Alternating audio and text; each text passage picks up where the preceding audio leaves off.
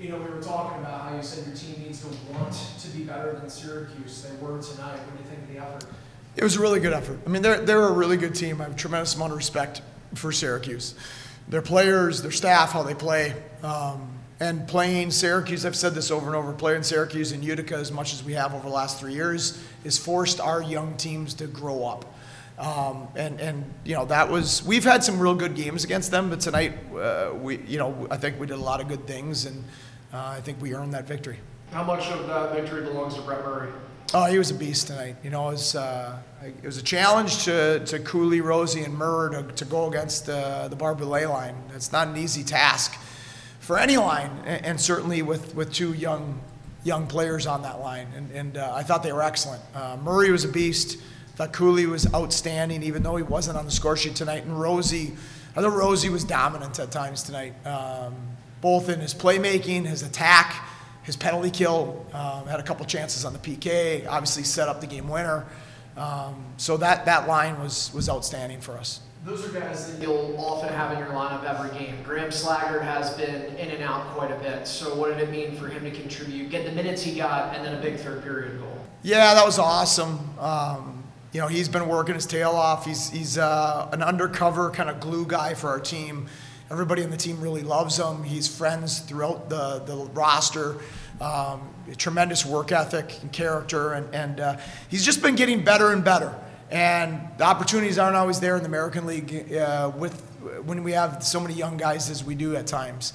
Um, you know, but he earned the promotion tonight. Um, like last week in Belleville, he was really physical. His penalty kill was excellent and he agitated Cruikshank so much that Cruikshank fought him, and then and then he and then Sleggs won the fight.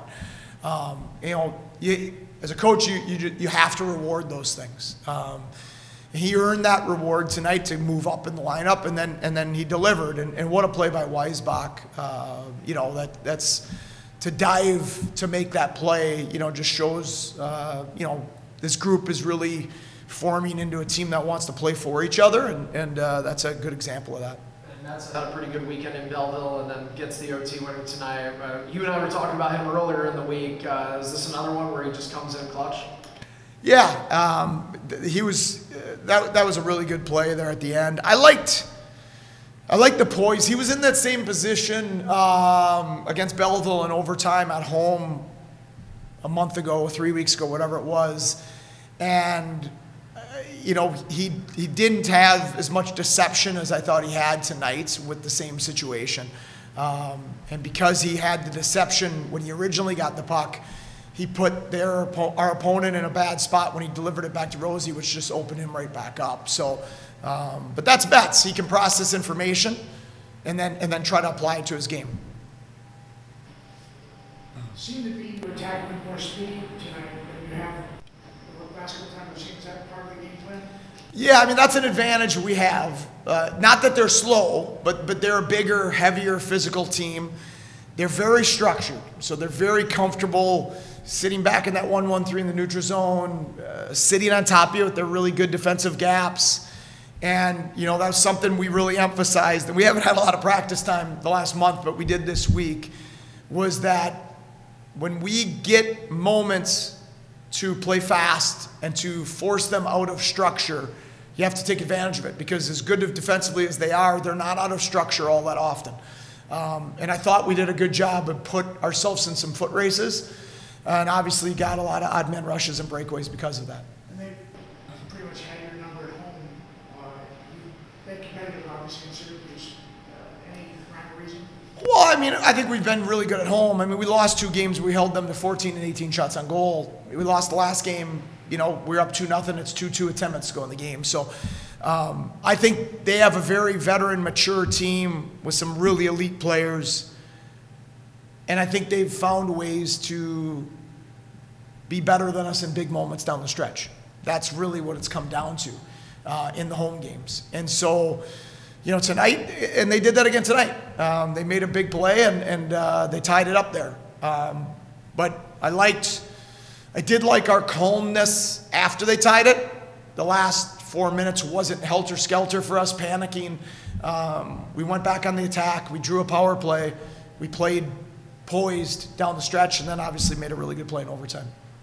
How does a win like this develop that momentum? Because you're going to see this, this team two more times in the next three games. Um, momentum only lasts as long as your next shift, right? So it's a really good win.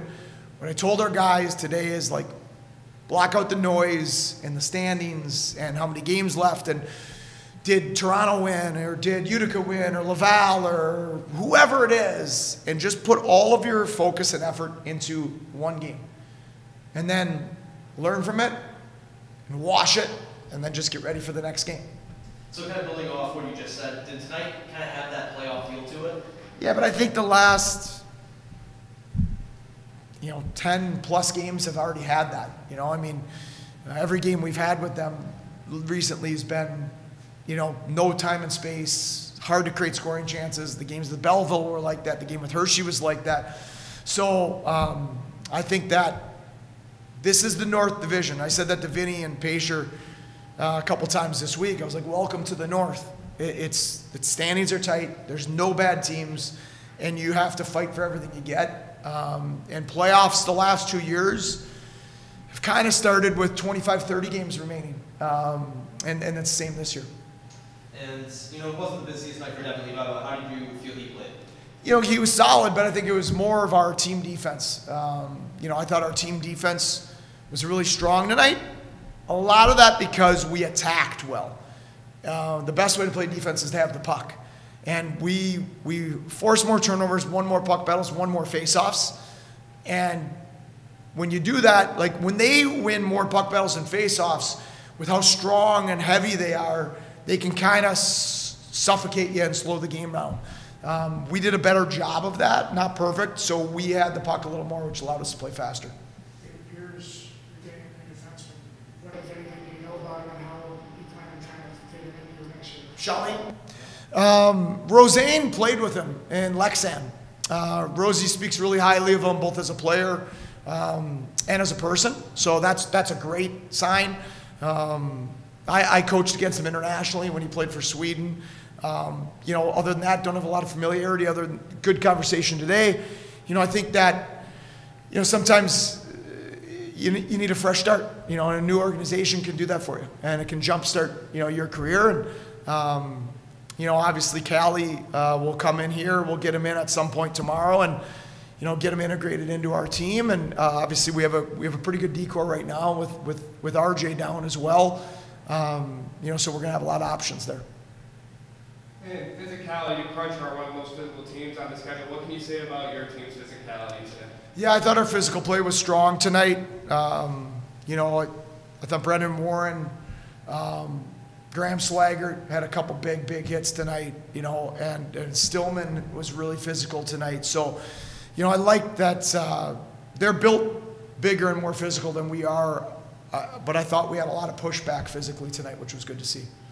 And then overtime, you guys lead the league in overtimes this season. How does that help you guys when you come into situations like this? Feels like we've led the league in overtime three straight years. Um, so, you know, I guess you could look at it good or bad. Is it is it bad that we haven't put teams away, or is it good that we've given ourselves a chance to win so many different times, right? So, and then you, we have gone through it. They beat us twice in overtime a month ago or whatever it was, and you know you can learn from some of those mistakes that you made.